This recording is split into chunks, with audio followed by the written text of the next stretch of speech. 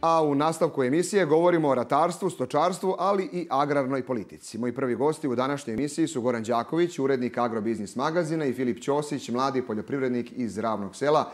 Gospodo, dobar dan i dobrodošli u Brazde. Dobar dan, bolje vas Bolje vas našli. Gospodin Đakoviću, evo za vas prvo pitanje. Čuli smo najavu povećanja subvencija sa 4 na 8 hiljada dinara. Kako vi komentarišete? Pa ja se nadam da će to poljoprivrednicima koristiti, mada bih više iskreno voleo da se taj novac potroši na investicije, ali vidite kakva je godina, da je cena đubriva otišla jako visoko, da praktično imamo ratnu krizu na kontinentu. To će se naravno odraziti na sve, ne samo na primarnu proizvodnju, već i na cene. Ja mislim da poljoprivrednici ipak treba da ulože u proizvodnju i, i ja ću sam kao proizvođač uložiti jer mislim da bi trebalo da bude i tražnje na svetskom tržištu, naročito ako imate sad Ukrajinu u vidu, da ne znamo kako će oni posejati, ako imate u vidu da su oni velika žitnica i naš, recimo, konkurent u tom sektoru, mislim da bi trebalo da se pozabavimo dobro time. E, gospodin Ćosiću, kakav je vaš komentar kao poljoprivrednika? Pa vidite, svaka pomoć države je dobrodošla. Međutim, tih 8000 je definitivno e, u današnje vreme malo novca za, za proizvodnju. Đubrivo otišao do nekih 300% već gore. Gorivo je takođe skupo. E, I drugi repromaterijal, samo seme i hemija takođe su skočili 10-15%. Tako da definitivno malo je tih 8000 dinara e, za, za premiju.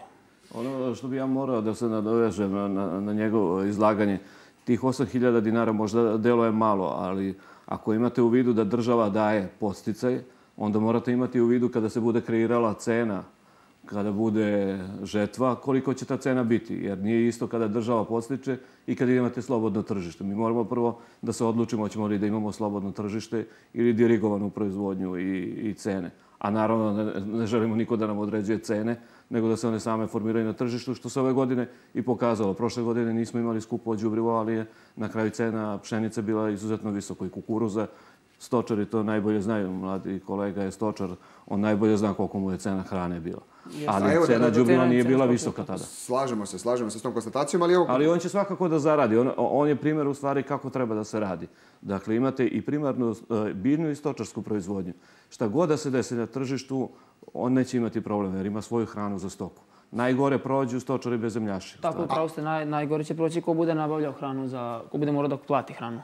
Evo ovako, slažemo se da je e, prolećna setva na Pragu, da su inputi drastično poskupili. Juče, evo, videli smo i prilog na početku emisije, ministar je bio sa poljoprivrednicima u Šapcu. E, I, ipak, i pored ovog povećanja subvencija, kažu da nisu zadovoljni. Kako rešiti taj problem? Imate li vi neki, neki predlog?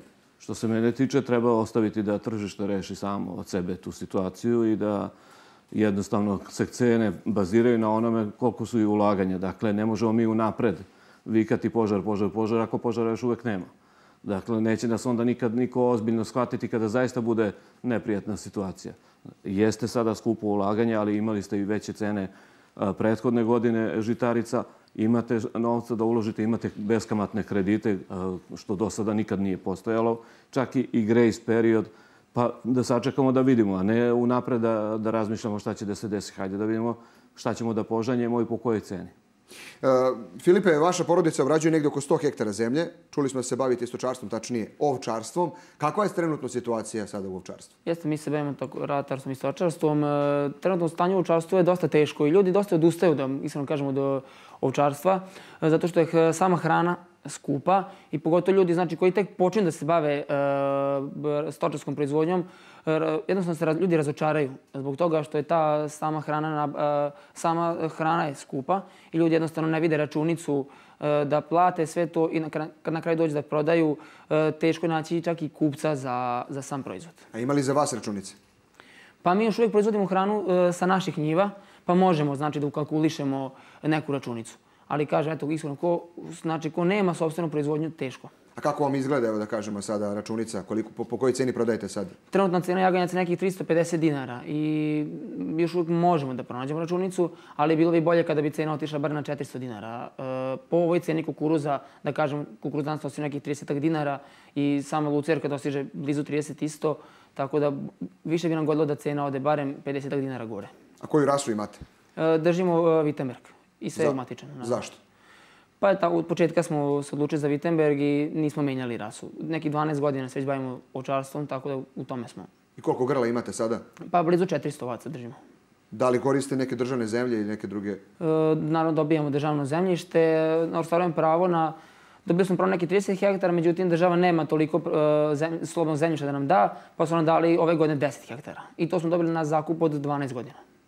Gospodin Đakoviću, vi ste nedavno bili u Barceloni, bili ste i u Dubaju, ako se ne varam. A, kakve su perspektive plasmana naše robe na ta zahtevna inostrana tržišta? Pa ja mislim da su perspektive odlične. E, sami izlagači su rekli u Dubaju koji su bili na, na sajmu da je bilo izuzetno veliko interesovanje i to je mene zaista oduševilo. Imali smo dve mlekare prisutne i naravno naše e, prodavce, trgovce i proizvođače voća kažu da prvog dana bukvalno nisu imali vremena da popiju čašu vode ili e, kafu koliko je bila navala što Egipćana, što ljudi iz samih Emirata, jer se pročulo tamo da smo dobili dozvole za izvoz na, na njihovo tržište, naročito meso, mleko, e, goveđe i jagnjeće i naravno prerađevine. I odmah su naravno došli da se raspituju.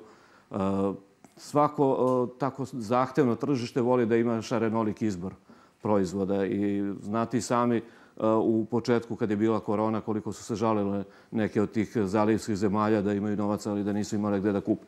E sada svi idu na to da diverzifikuju svoju nabavku. Dakle, oni nisu zemlja koja ima viškove kao što ih ima Srbija, već se dogovaraju sa takvim zemljama da unapred dogovore neku kupovinu.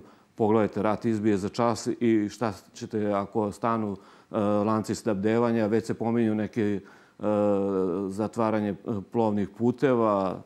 Sami smo svesni situacije da praktično sada već 3-4 nedelje sva roba iz Kine kasni sa, sa dolaskom do, do Evrope, da nemaju vremena čak ni da istovare e, brodove i da oni bukvalno čekaju na moru da po tri nedelje da budu istovareni. Sve to utiče na, na to da se ljudi opredele da iz svoje bliže okoline nabave proizvode. Naravno, ja mislim da će i za ovčarstvo tu biti perspektive. Ta cena od 350 dinara je trenutna. Koliko se sećam, pre 10-15 dana je bila 420, Tako je, 408. u novogodišnji praznika je bila, Tako bila je. 400 dinara. Prosto to je tržište i, i zato i treba a, imati tržišnu privredu. Dakle, da možete da računate i na vi, više cene. A ne onako kad vam stavi na ravnu liniju od 350 pa da, da. dinara i, i vi ne znate praktično ni da li ste zaradili, ni da li ste u gubitku, ni gde ste. Ovako, kad vi znate tačno kako će se kretati tržište, vi otprilike onda i kreirate svoju proizvodnju. E, kolega zna da tu može i da se malo e, jagnjenje e, modeliše, kad će da dođu jaganjci, kad će da ih prodaje, kad će da pripušta ovnove. I naravno, ja mislim da je subvencija države od 7000 dinara u stvari bila ključ kada smo podigli proizvodnju ovčarsku, jer bez nje ne verujem da bi se tako nešto i desilo. Jes, pa iz tog razloga ljudi dosta odlučili da Vi dobijate za svih 400 ovaca tih 7000, je li tako? Za neki 300 plotkinja imamo, tako, znači odraslih, da. tako je, znači tih 300 komade ostvaruje pravo.